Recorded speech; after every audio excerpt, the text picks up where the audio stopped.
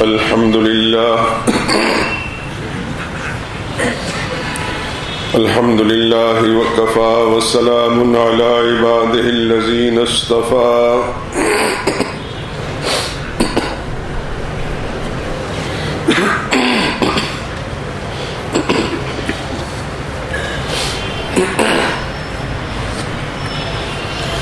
خصوصا على سيد الرسل وخاتم الأنبياء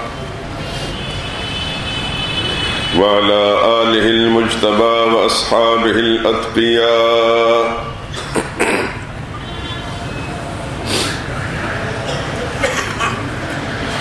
أما بعد فإن خير الحديث كتاب الله وخير الهدي هدي محمد صلى الله عليه وسلم وشر الأمور محدثاتها وكل محدثة بدعة. وكل بدعة زلالة وكل زلالة في النار.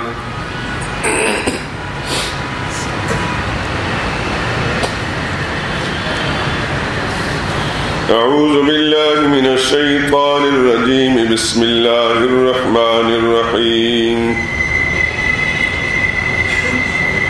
أم اتخذوا من دون الله شفعاء؟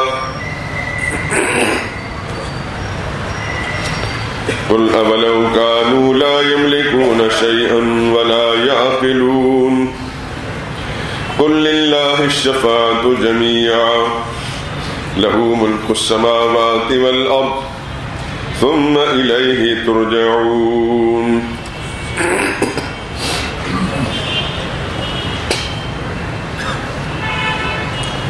کیا انہوں نے اللہ کے سوا اور سفارشی بنا لیے ہیں؟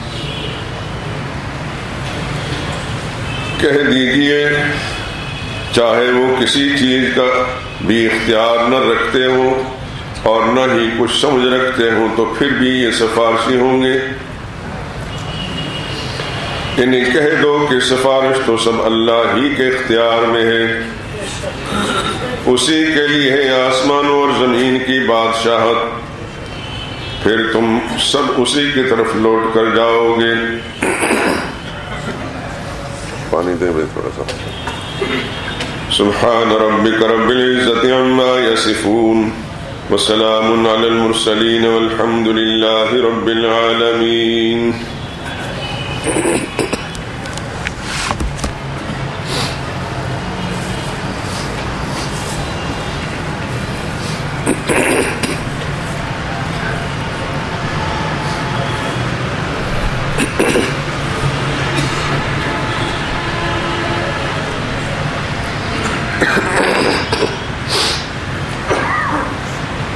بزرگان محترم برادران عزیز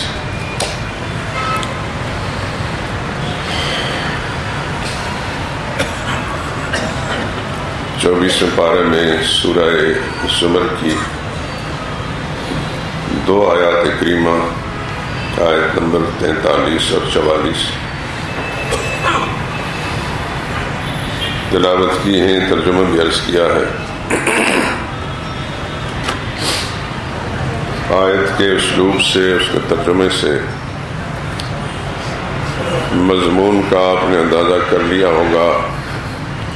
یہ وہی مضمون ہے جو گزشتہ اور اس سے پیوستہ خطبات جمعہ میں آپ کے سامنے پیش کیا گیا تھا۔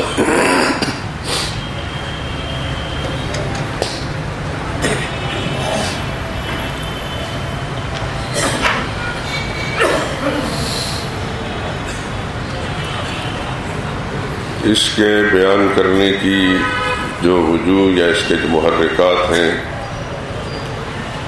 وہ بھی اس وقت میں نے عرض کر دیے تھے۔ اور اس کا تاریخی پس منظر بھی کچھ نہ کچھ عرض کیا تھا کہ سفارش کا ایک تصور وہ ہے جو یہود و نصارہ کے ذہن میں یا مشرقین کے ذہن میں تھا۔ اور سفارش کا ایک تصور وہ ہے جو اسلام کی تعلیم میں ہے اور مسلمانوں کے ذہن میں ہے۔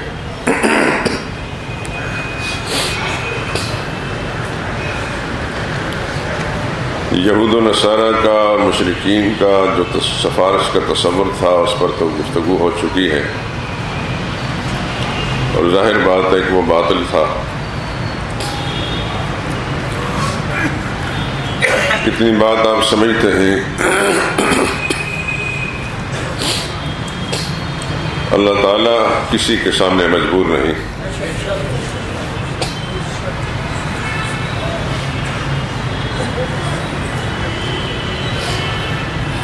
کسی کا سفارش کرنا، یہ اس کے بے اختیار ہونے کی علامت ہوتی ہے۔ جو کسی کے سامنے سفارش کرتا ہے وہ اپنے آپ کو بے اختیار سمجھتا ہے۔ ورنہ اگر اختیار ہوتا تو سفارش کیوں کرتا؟ پھر سب کچھ اپنی مرضی سے کرتا۔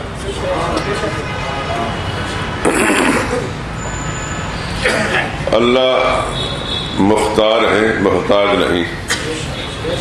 ساری مخلوق محتاج ہے۔ یہ اللہ کا اعلان ہے اس کتاب مقدس میں، یا ایوہ الناس اور پوری دنیا کے لوگوں، انتم الفقراء اللہ تم سب اللہ کا محتاج ہو۔ اس میں کسی کا اللہ نے استثناء نہیں فرمایا۔ آسمانوں والے ہوں یا زمین والے، سب اللہ کے محتاج ہیں اور صرف اللہ ہی کی ذات مختار ہے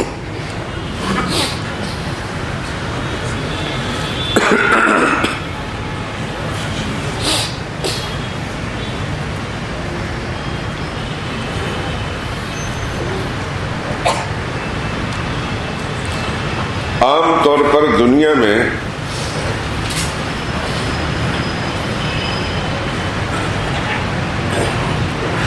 سفارش کرنے کے جو انداز ہے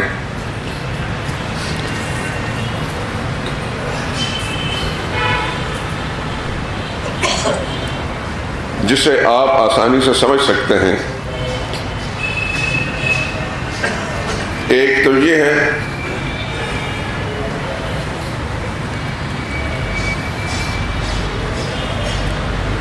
کسی کا کوئی محبوب۔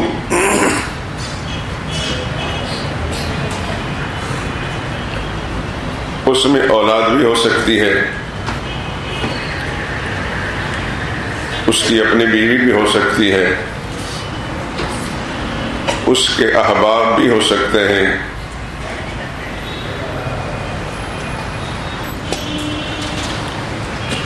جن کے ساتھ بہت زیادہ محبت اور پیار کا رشتہ ہے۔ وہ اگر کسی کی سفارش کرتے ہیں تو آپ سمجھتے ہیں کہ ایسی سفارش ماننا پڑتی ہے کہ محبوب ناراض نہ ہو جائے۔ بچوں سے لوگوں کو پیار ہوتا ہے، بچوں کی ماننی پڑتی ہے۔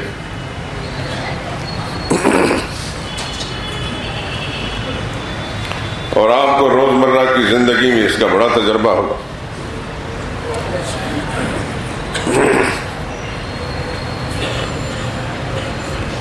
بچوں نے کہا کہ ہمارے رشتے داروں کے گھر بڑا ٹی وی ہے۔ یہ ہمارے گھر میں کیا چھوٹا سا ڈبا سا پرانا سا رکھا ہمارے پڑوسیوں کے گھر میں ایل سی ڈی لگی ہے۔ اتنے انچ کی۔ تو پھر بچوں ہی کی محبت میں یہ سب کچھ کرنا پڑتا ہے، ان کا مطالبہ پورا کرنا پڑتا ہے۔ یہ جو مطالبہ پورا کیا ہے یا بیگم صاحبہ کہتی ہیں، اور بیش بہت کم بیگمات کی تو ماننی ہی پڑتی۔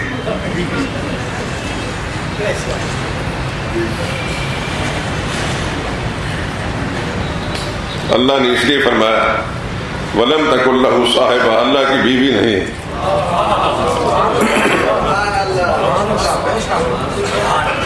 یہ بھی فرمایا، لم یلد ولم یولد، نہ بچہ ہے نہ ماں باپ ہے۔ یہ دونوں طرف کے لوگ جو ہیں، یہ مجبور کر دیتے ہیں۔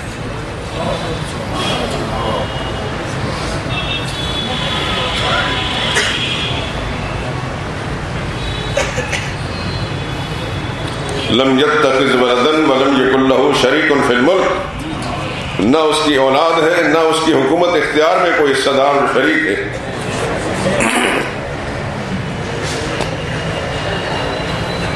ولم یق اللہ ولی من الظلم اور وہ کبھی کوئی کمزوری اس میں آتی نہیں کہ جو مصیبت کمزوری کے وقت میں کوئی دوسرا اس کا مددگار بن سکے۔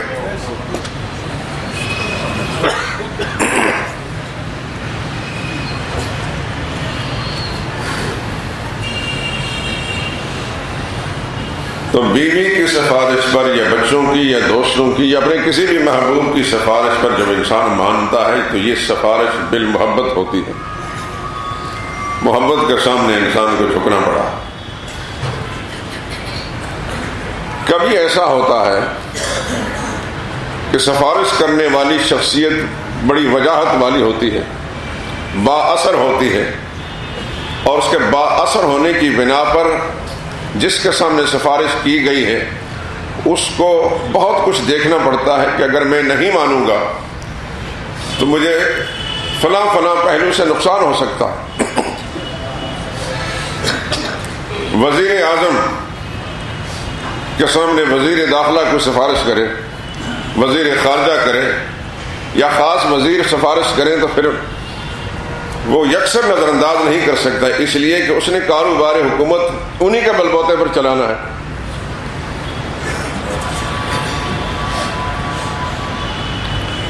تو اس دباؤ میں آنے کی وجہ سے وہ ماننی پڑتی ہے، اس کو کہتے ہیں سفارت بل وجہ یاد ہوگا آپ کو، کچھ عرصہ پہلے کچھ نوجوان انہوں نے اشارے توڑے اسی مال روڈ پر وہ باسر لوگوں کی اولادیں تھیں۔ بلوم باسر لوگ ہی مجرمانہ کاروائی کرتے ہیں۔ میں بات صاف کہتا ہوں۔ الحمدللہ میرے اللہ نے مجھے اب تک تو یہ توفیق بخشی ہے اور دعا کریں گے اللہ مجھے توفیق بخشے کہ میں صاف بات کروں۔ جرائم پیشہ لوگ زیادہ با اثر لوگ ہوتے ہیں یا ان کی اولادیں ہوتی ہیں۔ جو بے اثر لوگ ہیں غریب، ان کے بچے بھی اس درجے میں جرم نہیں کر سکتے۔ پتا کہ میرے باپ یا میرے خاندان کا وہ اثر نہیں ہے۔ پکڑا گیا تو پھر بچاؤ کی کوئی شکل نہیں ہوگی۔ نہ میرے ماں باپ کے پاس پیسے ہیں، نہ کوئی مضبوط سفارش ہے۔ لیکن کسی جرنیل کا کوئی بیٹا ہو، کسی جج کا ہو، کسی جاگیردار کا ہو، اور یہ جو بڑے بڑے زر صحافت والے ہیں، بریک میلر لوگ، یہ جتنے صحافی ہیں، اللہ ماشاء اللہ اس ہر ایک میں ہو سکتی ہے۔ یہ ٹی وی اینکر، یہ سب بریک میلر لوگ ہیں۔ ان کا کوئی آدمی ہو تو وہ ملا کر چھوڑنا پڑتا۔ ایسا ہی باثر لڑکوں نے کچھ عرصہ پہلے، ایسا کام کیا۔ تو وزیر اعلیٰ صاحب نے خود جا کر چھڑایا۔ پنجاب کے وزیر اعلیٰ صاحب نے۔ وہ وزیر اعلیٰ صاحب اب فوت ہو گئے۔ یاد ہوگا آپ کو۔ اسی ملک کے اخبارات میں چھپا ہم یہیں تھے، سب کچھ ہم نے دیکھا۔ اس کا تذکرہ میں نے پہلے بھی کیا تھا۔ کیوں وزیر اعلیٰ کو جانا پڑا؟ اس لیے کہ باسر لوگوں کی اولادیں تھی اور ان کے سامنے وزیر صاحب مجبور تھے۔ تو باسر لوگوں کی بات ماننا پڑتی ہے، اس کو کہتے ہیں سفارش بل وجہ کسی پولیس والے کی مجال ہے کہ کسی جرنیل کے بیٹے کا چالان کر سکے؟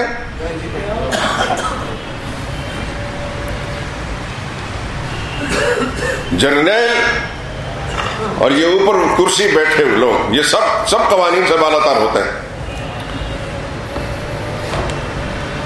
قانون صرف بے لوگوں کے لیے ہے، جن کے پاس رشوت نہیں، جن کے پاس سفارش نہیں۔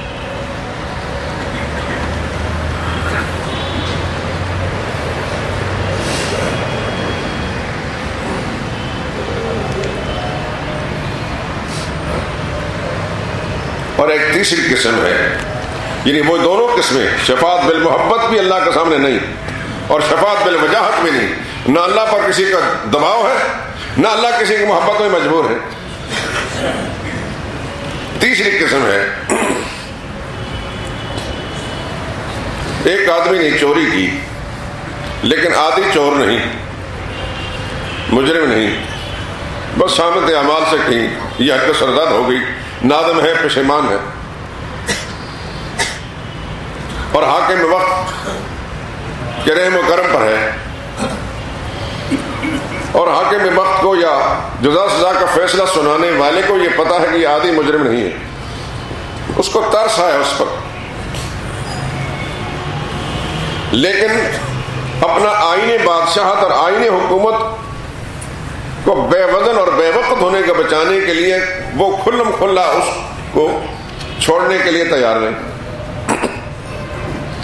کیونکہ اگر اس طرح خود بادشاہ کرے گا، حاکم وقت کرے گا، تو پھر وہ آئینی حکومت یا قانون جو ہے وہ بے اثر ہوگا عام دیکھنے والوں کی نظر میں۔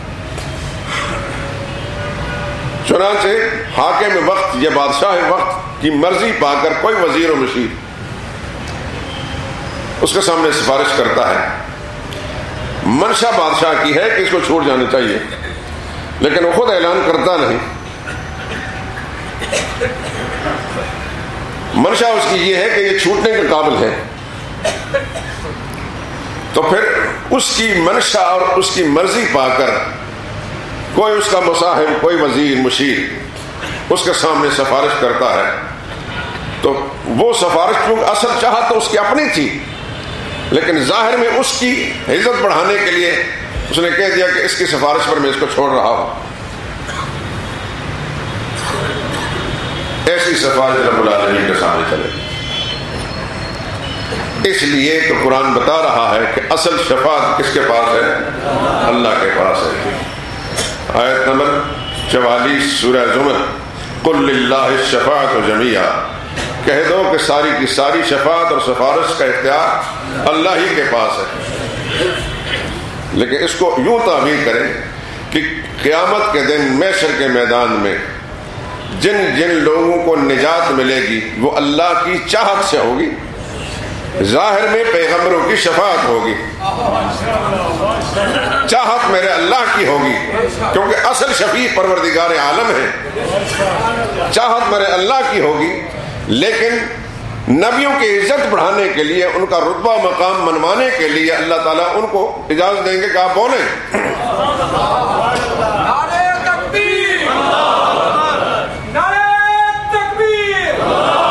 تو اللہ کے ہاں ایسی سفارش ہوگی۔ منشا الہی اللہ کی چاہت کو بھام کر انبیاء کرام علیہ وسلام اور پھر جس جس کو بھی اللہ تعالیٰ نے شفاعت کا حق دینا ہے، جیسا کہ حدیث میں آتا ہے یشف سلاست یوم القیامہ، الانبیاء ثم العلماء ثم الشہداء۔ تین قسم کے لوگ اللہ کے سامنے سفارش کریں گے۔ سر فرس انبیاء اکرام علیہ السلام ہوں گے، پھر علماء امت ہوں گے۔ بکنے والے نہیں، علماء ربانیین، علماء حق۔ یہ سار تھوڑی سی وضاحت کر دوں۔ آپ تو ہر ایک جس نے تھوڑی سی داڑھی بڑھا لی ہے پاکستانی معاشرے میں، اس کو مولوی کہہ دیتے ہیں۔ داڑھی بڑھانا یہ مولویت کی علامت نہیں، ایک اچھا مسلمان ہونے کی علامت ہے۔ نبی کریم صلی اللہ علیہ وسلم کا پیروکار مسلمان ہونے کی علامت ہے۔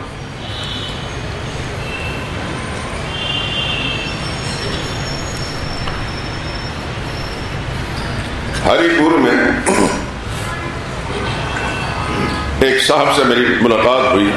بڑی پرانی بات ہے، یہاں آنے سے پہلے کی بات۔ میں طالب علم کے زمانے میں تھا۔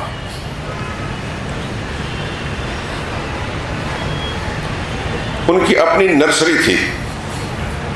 بڑا لمبا پروگرام تھا ان کا۔ کسی نے بتایا کہ یہ عالم ہے۔ تھری پیس پہنا ہوا سوٹر بوٹے صاف کریم سے میں تو بڑا حیران رہا، اس سے پہلے میرے ذہن میں کبھی تصور نہیں تھا کہ کلیم شہر میں کوئی آدمی عالم ہو سکتا ہے۔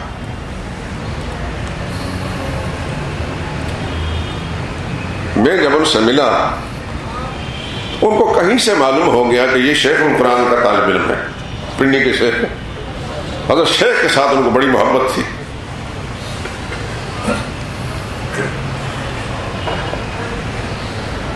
مجھ سے انہوں نے جب مختلف چیزیں پوچھی اور دورہ تفسیر کا پوچھا تو بہت خوش ہوئے۔ پھر انہوں نے اپنا تذکرہ کیا کہ میں دیوبند میں پڑھتا رہا ہوں۔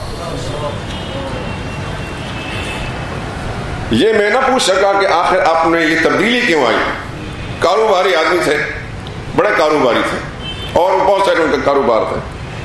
لیکن بڑے نیک طبیعت انسان۔ ایک عالم ہے۔ اور کتابیں ان کو اس طرح تھیں کہ جس طرح کسی بڑے دارالعلوم کا جو اعلیٰ پائے کا مدرس ہوتا ہے، ازبر ہوتا ہے، اس طرح کتابیں ازبر تھیں۔ مجھے یاد ہے کہ انہوں نے علامہ شارستانی ایک گزرے ہیں، انہوں نے کتاب لکھی، الملل والنحل۔ اس کتاب کا مضمون ہے کہ دنیا میں کتنے مذاہب اور فرقے گزرے ہیں۔ ان کی پہچان کہ فلاں مذہب جو ہے، اس نام والا، اس کی پہچان کیا، اس کی تفصیلات کیا ہے۔ انہوں نے مجھے دی تھی اپنے کتب خانے سے نکال میں نے ان کا کتب خانہ دیکھا، میں حیران رہ گیا۔ صاحب مطالعہ انسان تھے۔ ایک دفعہ کوئی بھی تھی مولوی مل گیا، اس کی کسی حرکت پر انہوں نے نکیر کی۔ ان کا تو کلین شیپ آدمی، بوڑھا آدمی، تمہیں کیا پتا؟ کتاب کیا ہوتی ہے تو علم کیا ہوتا ہے؟ اس نے سمجھا کہ شاید یہ داڑھی والا ہی جو صاحب علم ہوتا ہے۔ اس نے جو چند سوالات اسے پوچھے تو اس کو جان چھوڑانی مشکل ہوگی۔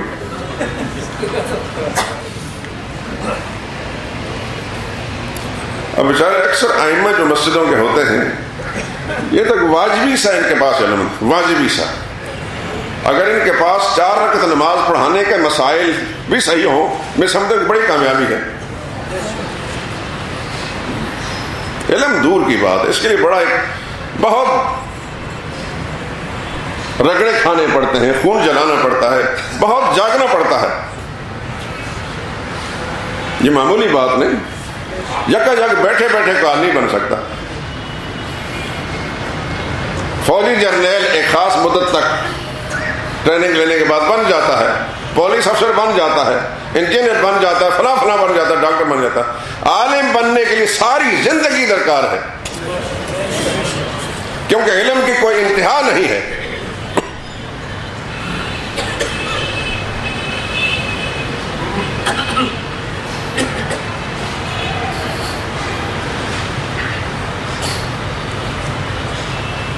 سو سو جلدوں سے زیادہ اہل علم نے کتابیں لکھی ہیں۔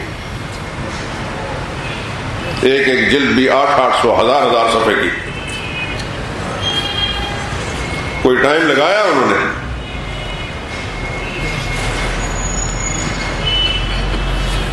ان میں جو کچھ انہوں نے لکھا ہے، وہ علم کہاں سے لایا انہوں نے کچھ پڑھنے میں بھی ٹائم لگایا۔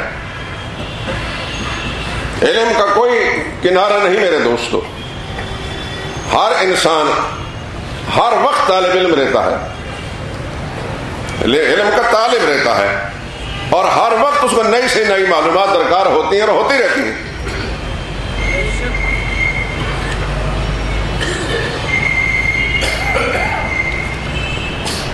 میں انہی وجالس کے اندر آپ کے سامنے عرض کر چکا ہوں۔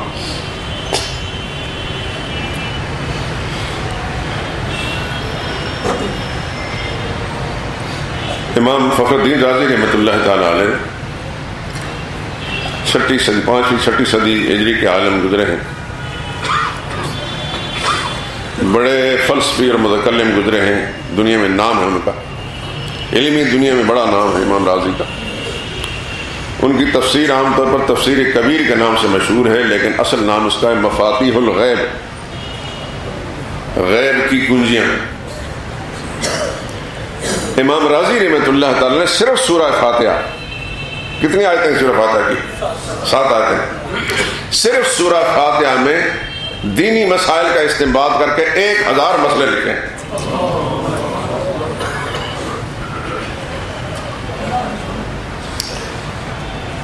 علم کے سمندر تھے میرے دوستوں جدھر نکلتے تھے، بہتے چلے جاتے تھے۔ آپ حضرات میں سے کسی نے غبار خاطر کا مطالعہ کیا ہو، مولانا ابوالکلام آزاد، اس بر صغیر کی بڑی علمی اور سیاسی شخصیت گزرے ہیں۔ پاکستانی لیگیوں کی بات نہیں کر رہا، کیونکہ ان کا ضرف ٹیڑھا ہوتا ہے۔ ان کو ہر اچھی بات بری لگتی ہے۔ میں انصاف پسند آدمی کی بات کر رہا ہوں۔ جس کی سوچ کا زاویہ ٹیڑھا نہ ہو۔ سوچ کا ظرف ٹیڑھا نہ ہو۔ اس کو سمجھ آتی ہے کہ ابوالکلام آزاد کیا چیز تھی۔ انگریز کے زمانے میں جب ان کو قید میں رہا، احمد نگر قید میں، جیل میں تھے۔ تو جیل کے زمانے میں ہر رات کو پچھلے پیر اٹھ کر جب تحجد پڑھنے کے بعد وہ خط لکھتے تھے مختلف احباب کو، دوستوں کو۔ ان خطوط کا مجموعہ ہے غبار خاطر۔ میں نے کس زمانے میں اس کا مطالعہ کیا ہے؟ قسم خدا کی، اس کتاب کو پڑھنے کے بعد، خطوط کو پڑھنے کے بعد ایسا لگتا ہے کہ جیسے سمندر ہے، جس طرف رخ کر گیا، بہ رہا ہے۔ پینتیس پینتیس صفحات پر مشتمل ایک ایک خط ہے۔ جس فن کا تذکرہ کر دیا، اس فن پر اس انداز انہوں نے لکھا ہے جیسے کہ ساری زندگی یہ فن سیکھ کر پڑھاتے رہے۔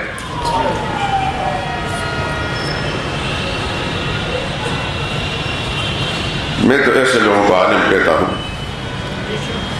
ہر فن ہر فن کے اندر انہیں کمال حاصل ہو۔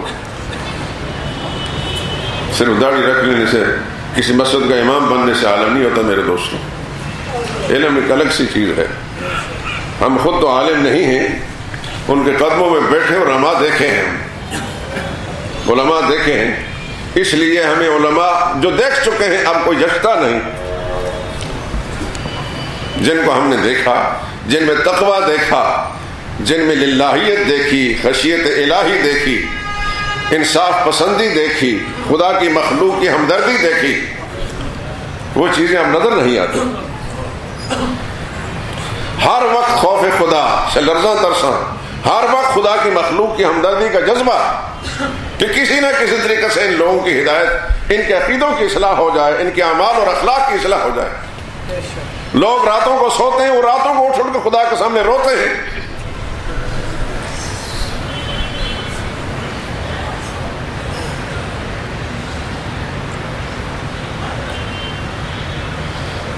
اللہ اکبر۔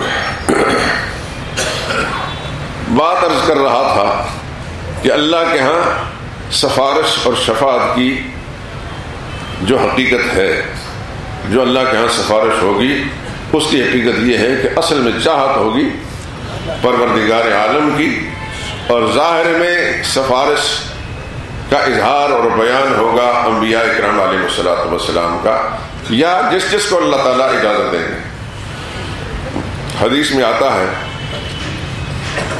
حافظ قرآن بھی، قرآن کا حافظ بھی، لیکن ساتھ یہ شرط لگا لے جس نے اللہ کی رضا کے لیے قرآن حفظ کیا اور پھر ساری زندگی اس کے ساتھ وابستہ بتا اللہ کی محبت کے اندر قرآن کو اپنے سینے محفوظ کر لیا اور اللہ کی محبت پہ ساری زندگی اس کو محفوظ رکھا۔ اور منکرات سے بچتا رہا۔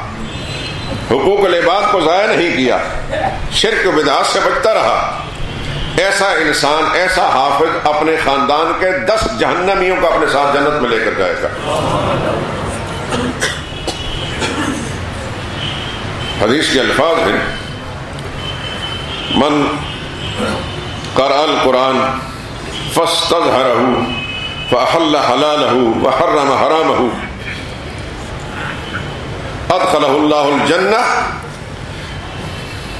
جس نے قرآن کریم کو پڑھا اور اس کو پھر محفوظ کر لیا، اس کے حلال کو حلال سمجھا۔ اس کے حرام کو حرام سمجھا یعنی قرآن نے جس کو حلال کہا، اس کو حلال سمجھا، قرآن نے جس کو کہا یہ حرام ہے، اس کو حرام ہی سمجھتا رہا۔ اللہ اس کو جنت میں داخل کریں گے۔ وہ فی عشرت کل من اہل بیت ہی اور اس کے اہل بیت، اس کے خاندان کے دس آدمی کے بارے میں سفارش کا حق دیں گے۔ کل ہی وجبت لہنار وہ دس آدمی جو اپنے بدعمالیوں کی وجہ سے جہنمی بن چکے ہیں۔ آگ کے حقدار بن چکے ہیں، ان کو اپنے ساتھ جنت میں لے کر جائے گا۔ یہ اللہ کی کتاب کا حفظ، یہ اتنا بڑا اعزاز و انعام ہے۔ اللہ تعالیٰ آپ کو بھی سعادت بخش ہے کہ آپ کے بچے بھی قرآن کریم کے حافظ ہوں۔ اللہ آپ کو بھی توفیق دے کہ آپ خود حافظ ہو جائیں۔ ناممکن کوئی بات نہیں۔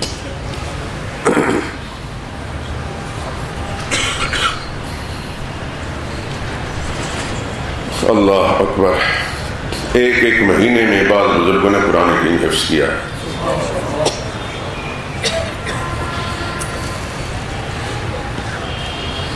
حضرت شیخ الہند رحم اللہ تعالی مالٹا کی جیل میں رمضان کا مہینہ آ گیا، حافظ نہیں تھے۔ اب تراوی کی نماز پڑھنی، جیل سے باہر جانے کی اجازت نہیں۔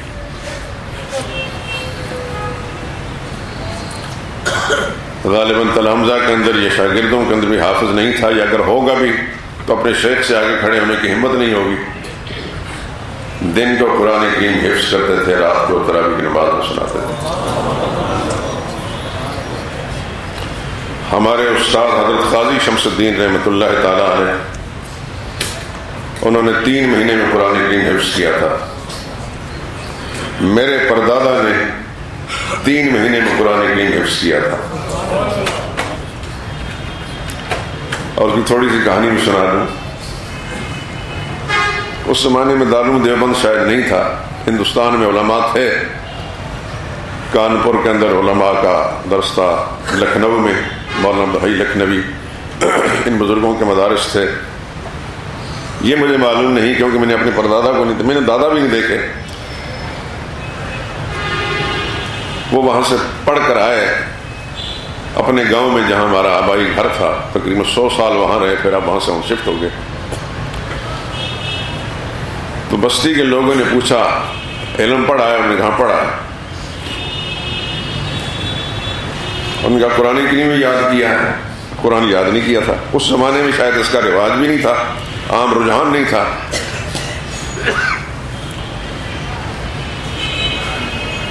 تو کسی آدمی کی زبان سے ہوتے ہیں؟ دیہاتی لوگ، رتبہ و مقام سے ناواقف لوگ۔ ایک عالم ہے، عالم سے گفتگو کرتے وقت ہوئے سلیقہ چاہیے۔ پھر تم نے کیا پڑھا؟ اتنی سی بات ان کو ایسے چبھی کہ شام تو اپنے گھر میں ہوئی۔ رات کو اپنی والدہ یا والد، کون تھے؟ مجھے تفصیلات کا علم نہیں۔ ان سے اجازت لے کر صبح سہی کے بعد گھر سے نکل گئے۔ تقریباً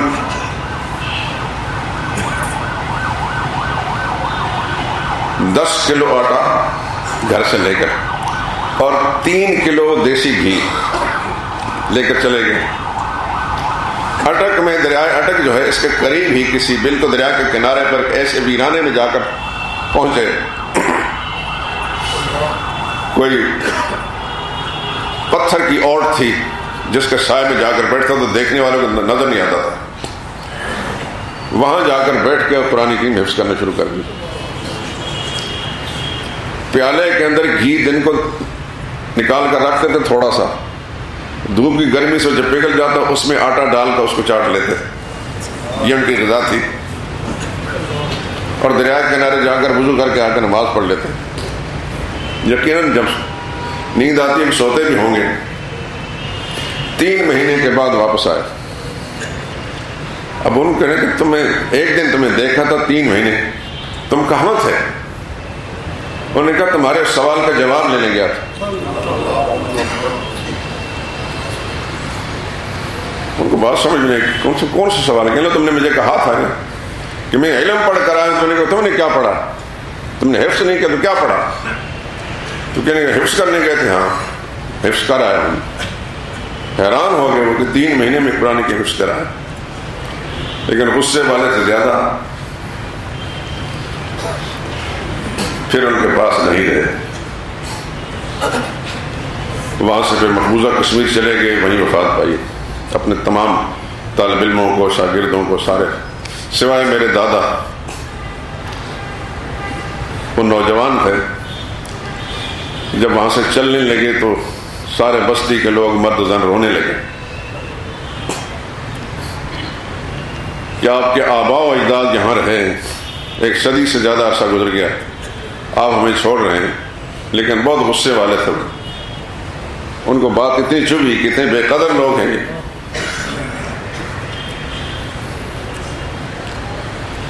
سارے خاندان سمیت چل پڑے تو لوگ پاؤں پڑ گئے۔ تقریباً اتنا یوں سمجھے یہاں سے شادرا کتنے فاصلے پر ساتھ لوگ بھی جا رہے ہیں سارے بستی کے رو رہے ہیں۔ آخر پھر انہوں نے اپنے بیٹے کو جو میرے دادا تھے، پکڑ کے ان کے حوالے کر دیا۔ اگر اس کی قدر پہچانو گے تو اس سے وہی فیض ملے گا جو مجھ سے ملتا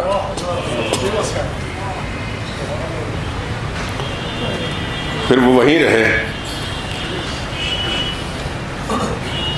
زہد و تقوی کمال کا تھا میرے والد صاحب، فرمایا کرتے تھے کہ میں نے اپنے باپ سے زیادہ متقی انسان کو نہیں دیکھا۔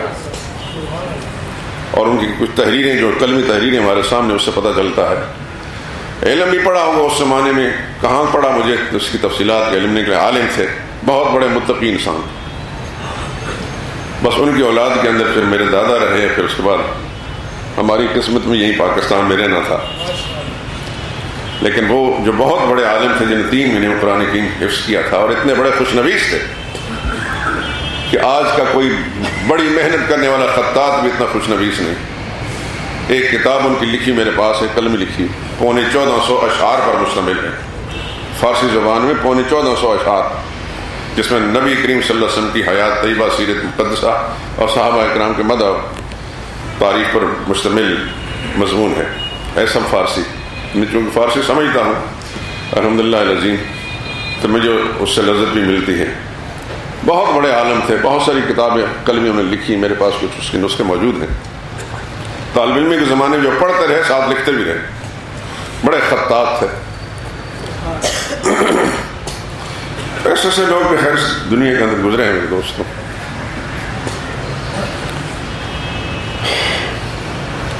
بات شفاعت کی تھی۔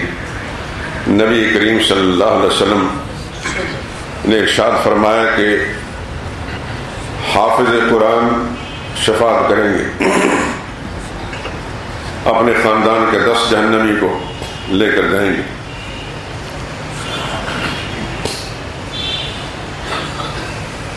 میرے والد صاحب اللہ جنت نصیب کرے بڑے ہی عارف بلّہ انسان تھے۔ علم اتنا زیادہ نہیں تھا، لیکن تقوی کوٹ کوٹ کر بھرا تھا۔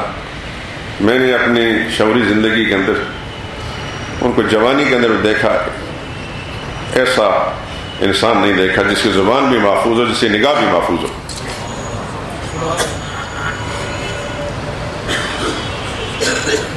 نہ غیبت کرتے تھے، نہ غیبت سننا گوارا کرتے تھے۔ ان کے سامنے اگر کوئی کسی کی شروع کر دیتا، فوراً اس کو ٹوک دیتے غصے کے ساتھ یا اٹھ کر وہاں سے چلے جاتے انہیں بڑا شوق تھا مجھے پڑھانے کے لیے۔ اور مجھے بھی شعور نہیں تھا قرآن کی حفظ کرنے کا۔ بس ایک لگن تھی کہ میرا بیٹا ہاں، عالم بن جائے۔ سکول سے نکال کر مجھے اس طرف ڈال دیا۔ شوق خیر مجھے بھی پڑھنے کا تھا ہی۔ جو کچھ بھی آپ کے سامنے ہے۔ لیکن جب کچھ شعور پیدا ہوا تو پتہ چلا کہ بڑا ایک نقص میرے اندر موجود ہے۔ قرآن کا بالفعل حافظ نہیں۔ یہ اللہ کا احسان ہے کہ قرآن کریم سے بے خبر نہیں ہوں۔ قرآن سے تعلق ہے۔ اور اپنا مدعا اور مطلب مجھے معلوم ہوتا ہے قرآن کریم میں کہاں کہاں۔ پھر اس کے بعد پھر میں نے اپنے بھائیوں کو حفظ ڈالا۔ میرے ایک بھائی برطانیہ رہتے ہیں، بڑے پکے حافظ ہیں۔ ان کے بچے حافظ ہیں۔ دوسرے بھائی حافظ، میرے بیٹے حافظ۔ الحمد للہ عظیم اس سلسلے کو میں نے جاری رکھا۔ اللہ تعالیٰ آپ سب کو یہ ساتھ نصیب فرما۔ حافظ قرآن اپنے ساتھ سفارش کر کے دس جہنمی کو جنت میں لے کر جائیں گے۔ اور مجاہد شہید اللہ کی راہ میں شہید ہونے والا اپنے ساتھ ستر جہنمیوں کو جنت میں لے کر جائے گا۔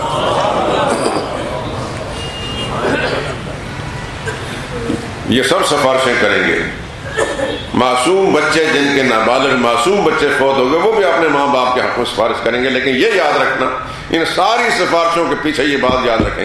نبی سے لے کر معصوم بچے تک، جس جس کی سفارش کو اللہ نے قبول فرمانا ہے اسی کی قبول فرمانا ہے کہ جس کے حق میں سفارش کی جا رہی ہے وہ مشرق نہ ہو۔ کوئی آدمی غلط فہمی میں نہ رہے۔ میرا اللہ گواہ ہے کہ میں اس بات کو وضاحت کے ساتھ میں عرض کر رہا ہوں۔ اللہ کو گواہ بنا کر کہتا ہوں۔ یاد رکھو دوستو، شرک کی کوئی گنجائش نہیں معافی کی۔ اپنے آپ کو شرک سے بچاؤ۔ اپنے اہل و عیال، خاندان کو شرک سے بچاؤ۔ باقی کمزوریاں اللہ تعالیٰ معاف کر دیں گے۔ اسی لیے تو حضور نے فرمایا، شفاعتی من امتی۔ میری امت کے جو گناہگار ہوں گے، کبیرہ گناہوں کے مرتکب ہوں گے، ان کے حق میں سفارش قبول ہو جائے گی۔ لیکن مشرق کے بارے میں صاف فرما دیا کہ مشرق کے حق میں سفارش نہیں، نہ میں کروں گا، نہ سفارش قبول کی جائے گی۔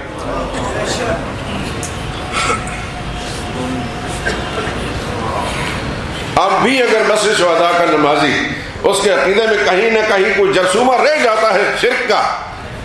تو یہ بہت بڑا المیہ ہے میرے لیے بھی۔ چالیس سالہ عرصہ تھوڑا سا نہیں ہوتا دوستو، نصف صدی کے قریب قریب پہنچ رہے ہیں اس مسجد کا ہر پتھر اور اس کے فرض سے بھی اگر کوئی زبان کسی کے پاس ہو اور اسے بلوا سکے تو انشاءاللہ یہ آواز اس پتھر پتھر بول کر کہے گا کہ یہاں اللہ کی توحید کا مسئلہ بیان ہوا۔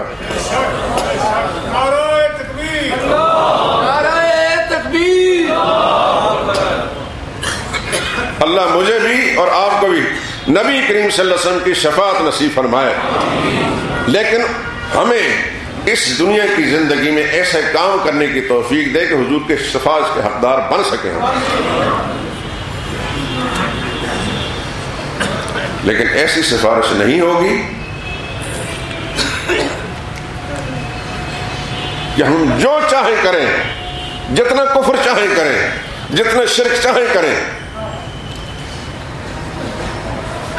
رسول اللہ صلی اللہ علیہ وسلم اللہ کے مقابلے میں کھڑے ہو کر اللہ کو ماننے پر مجبور کر دے ہمارے حق میں۔ ایسی سوچ بھی کافرانہ ہے۔ اللہ کسی کے سامنے نہ مجبور ہے، نہ اللہ کو مجبور کر سکتا ہے۔ بندہ بندہ ہے، معبود معبود ہے۔ مخلوق مخلوق ہے، خالق خالق ہے۔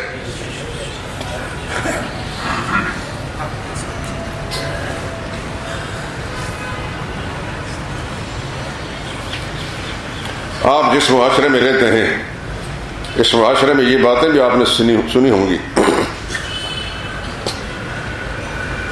کہ قیامت کا دن ہوگا۔ نبی کریم صلی اللہ علیہ وسلم اللہ کے ساتھ باتیں کر رہے ہوں گے۔ معذ اللہ یہ کافرانہ جملے بولتے وقت میری زبان لڑکھڑاتی ہے۔ اللہ کو باتوں میں لگا لیں گے۔ اور پیچھے سے کہیں گے، بھاگو نکلو۔ یعنی جو چکر بازی اپنے ذہن کے اندر ہوتی ہے، معاذ اللہ، وہ اللہ کے پیغمبر کے ذمہ لگا دی۔ اللہ کو پتہ ہی نہیں چلے گا، معاذ اللہ۔ یعنی بیک وقت اللہ کی بھی توہین، نبی کریم صلی اللہ علیہ وسلم کی بھی توہین۔ کہ اللہ اتنے بے خبر ہیں کہ ان کا پتہ نہیں چل گا کہ مجھے باتوں میں لگا رہے اور کر کیا رہے اور نبی کریم صلی اللہ علیہ وسلم پر یہ تہمت لگا کہ رسول اللہ صلی اللہ علیہ وسلم اللہ کو چکر دے کر اپنی امید لے کے تم چلے جاؤ۔ سیدھا جنت میں چلے جاؤ۔ انا للہ انا الیہ راجعون۔ اللہ اس سوچ سے بھی ہر مسلمان کو محفوظ فرمائے انه علیم بذات الصدور۔ علیم خبیر بكل شيء علیم کوئی چیز اس سے مخفی نہیں۔ عالم الغیب و شہادہ، ظاہر کا بھی جاننے والا، باطن کا بھی جاننے والا وہی ہے۔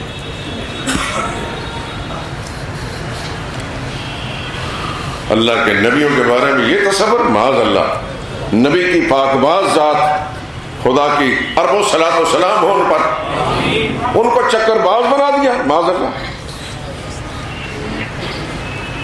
ایسی چکر بازی تو ایک عام شریف انسان بھی نہیں کر سکتا۔ ایک عام شریف امتی بھی نہیں کر سکتا، بشرط اس میں شرافت موجود ہے۔ سوائے دھوکہ باز اور فراڈی ہے کہ کوئی انسان ایسا سوچ بھی نہیں سکتا۔ امام الانبیاء تو خلاصہ کائنات ہے محبوب رب العالمین ہے ان کے بارے میں ایسی سوچ۔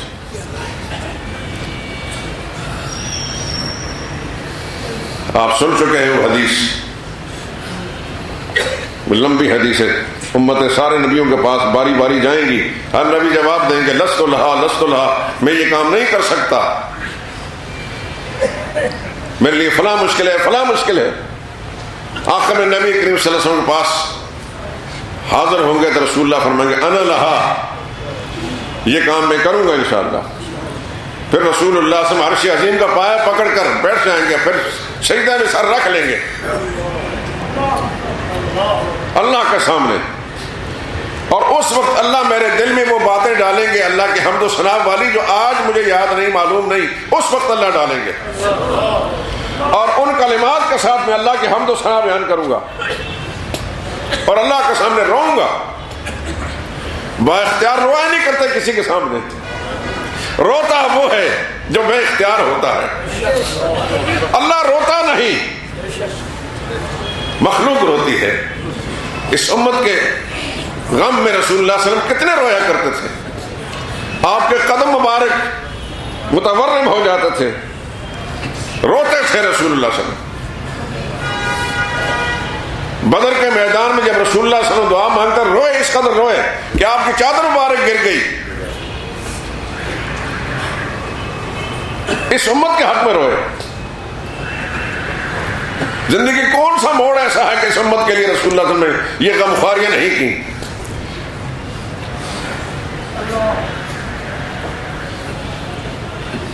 شہر بیت اللہ سے اگر کوئی گواہی لے سکے، وہ بھی گواہی دے گا۔ بیت اللہ کی گلیوں سے کوئی گواہی لے سکے، وہ بھی گواہی دے گی۔ اور طائف کے میدانوں سے اور بازاروں سے کوئی گواہی لے، ان پہاڑیوں سے تو وہ بھی گواہی دے گی کہ محمد مصطفیٰ سن کے کتنے آنسو یہاں گرے۔ اور کتنا خون گرا۔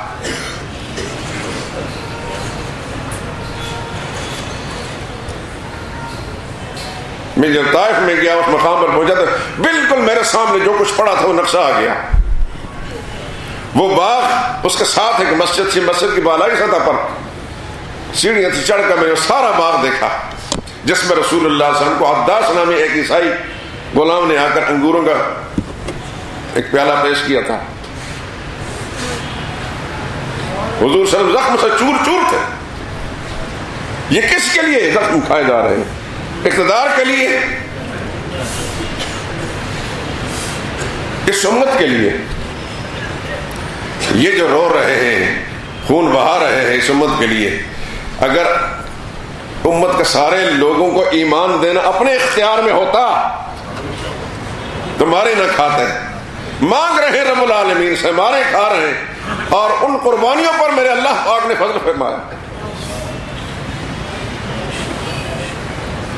شرک سے نکالنے کے لیے سارا کچھ ہو رہا ہے۔ اگر اپنے اختیار میں ہوتا تو ابو جال بھی کافر نہ مرتا۔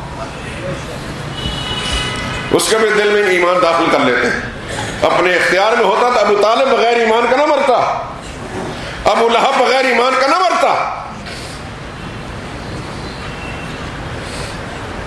معلوم ہوتا ہے کہ اختیار سارے کا سارا صرف اللہ کے پاس ہے۔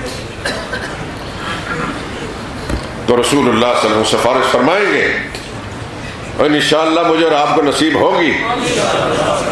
کیونکہ ہمارا ایمان اس بات پر کہ اللہ واحد لا شریک ہے، اس کا کوئی شریک اور حصہ دار نہ ذات میں شریک ہے، نہ صاف میں شریک ہے، نہ حقوق میں شریک ہے، نہ اختیارات میں شریک ہے۔ وہ اپنے تمام خصوصیات میں واحد لا شریک ہے۔ یہ اللہ تو گواہ رہنا۔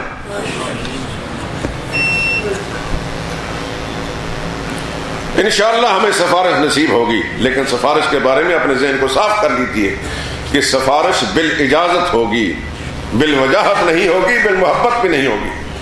کسی محبوب کے دباؤ میں آ کر بھی اللہ سفارش نہیں قبول کریں گے، اور کسی با اثر کے دباؤ میں آ کر اللہ سفارش نہیں قبول کریں گے۔ اللہ اپنی چاہت سے سفارش قبول فرمائیں گے اور سفارش ہوگی۔ جس جس کے بارے میں اللہ کی چاہت ہوگی، اپنے عقیدوں کو، اپنے نظریوں کو، شریعت کے ان اصولوں کے مطابق درست رکھیے میرے دوستوں اور اللہ توفیق دے۔ تو دوسرے مسلمانوں کی جو بھٹکے ہوئے، جن کے نظریے خراب ہیں، ان کو بھی درست کیجیے۔ آپ کا ایک ایک جملہ بھی آپ کے آپ کے اپنے حق کے اندر اللہ کے بارگاہ میں ریکارڈ میں جمع ہوگا۔ یہی چیزیں انشاءاللہ آگے کام آئیں گی۔ سبحانک اللہم و بحمدک، اشہد اللہ الہ الا انت۔